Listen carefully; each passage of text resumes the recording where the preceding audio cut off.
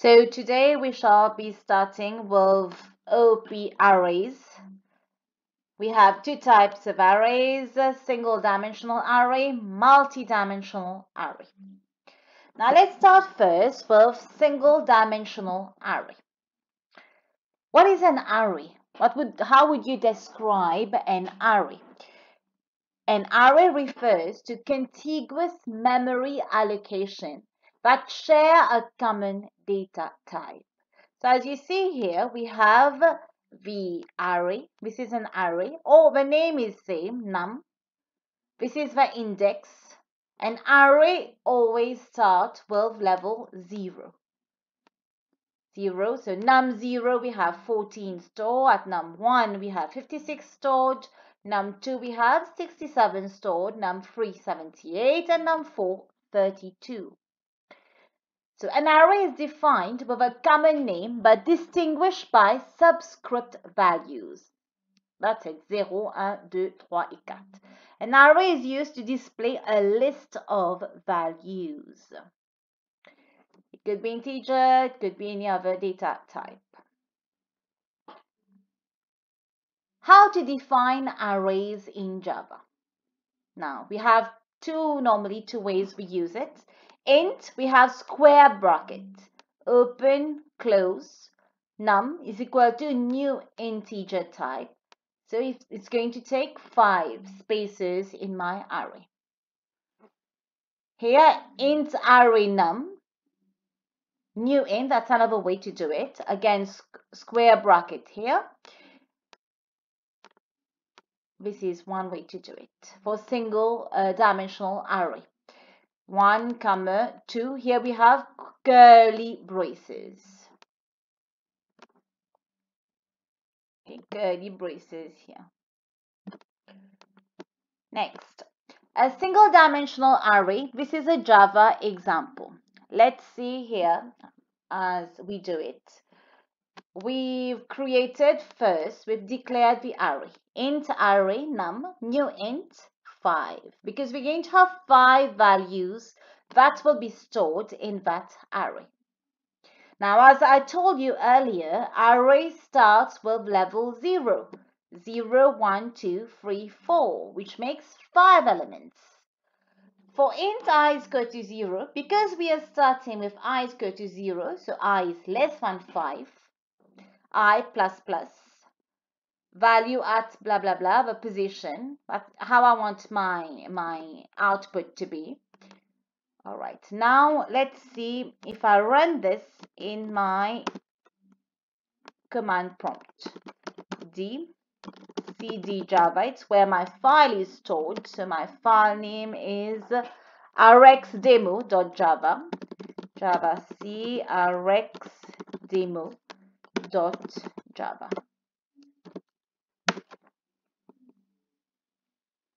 So Java Rx demo. So as you see here, the value is 14, 56, 67, 78, 32, 46 at the zeroth position. First position 56, second position 67, third position 78, fourth position 32.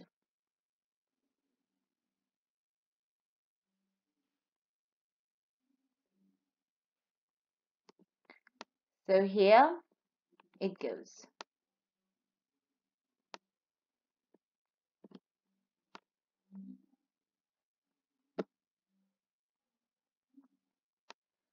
Next, we have another way of doing a single dimensional array. So let's go back. Here mm. we have a for loop. I've used a for loop because we have to go with first number, look for second number, third, fourth, and fifth number. So one, one time it's going to go on i is go to zero. Then it's going to run this line. Then it goes again on the second, second time, third time, fourth time. Now next here, we have another single dimensional array. Here the array has been defined within here where we have declared the array. We've assigned the values here only where we declared the array. As I told you earlier, curly braces here, curly braces. Void arrays for int k is equal to 0, k less than 10, k plus plus. System dot target print ln value plus k. So k is the position, zeroth position, the first value, second position, second value will display, etc. And we display it. So let's see our demo.java. Do I have it here? Uh, demo.java. Yes, Java uh, demo. Here it goes. 1, 2, 3, 4, 46, 57. C'est bon. Donc, this is how it displays. So, to display the elements of an array. Parce que nous avons beaucoup de, de chiffres. Donc, we have to use a for loop or a while loop. Whichever pleases you. Next. So let's write a program in Java to perform the below. Input the amount of numbers a user wishes to input, perform the sum and average of the numbers, display the sum and average. Donc, regardez comment j'ai fait ça.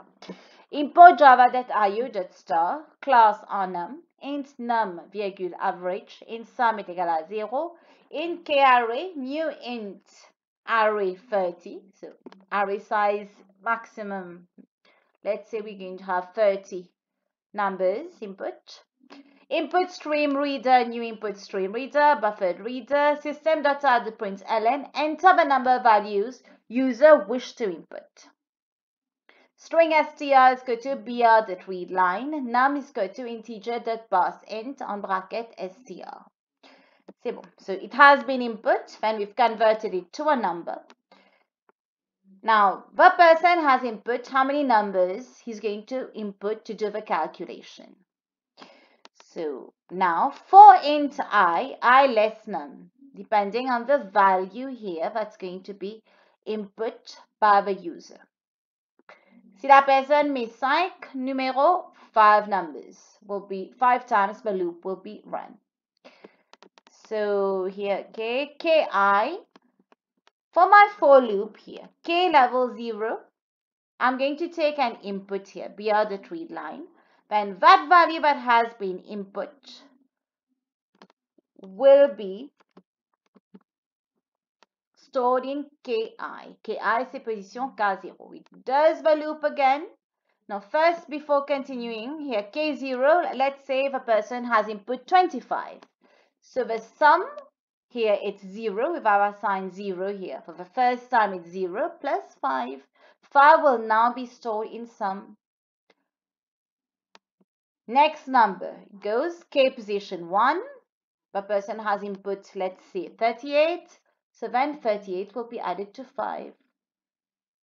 Donc, à chaque fois, this loop is going to continue to be done. Every time it's going to be run the sum will be added. At the end, we're going to get, when it's going to exit the loop, we'll have the latest sum. So then average is equal to sum slash num. So it's going to divide with a value that has been input here to be, so that we can calculate the average. Sum is equal to, this is going to be displayed because it's between inverted commas, then the value of the sum will be displayed. Average equal to AVG, but the average will be displayed. So when we are calling the functions. Now let's see. This is num demo one, num demo one dot java, java num demo one. Enter the number of values user wish to input. Allons dire, je vais mettre six numbers. So six times the loop is going to run. First number 45, 34, 33, 23, 12, 89. Here we get the sum and here we get the average.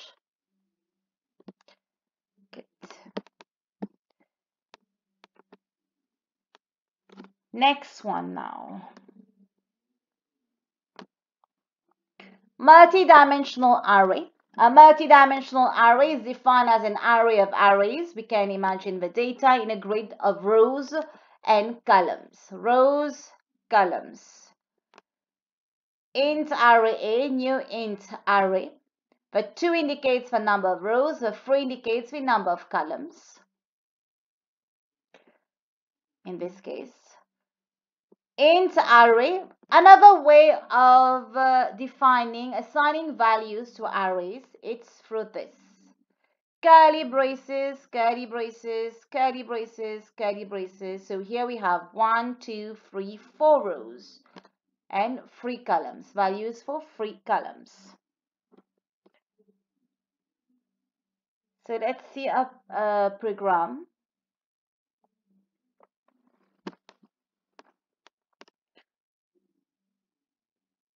Import java.io.star class mult array.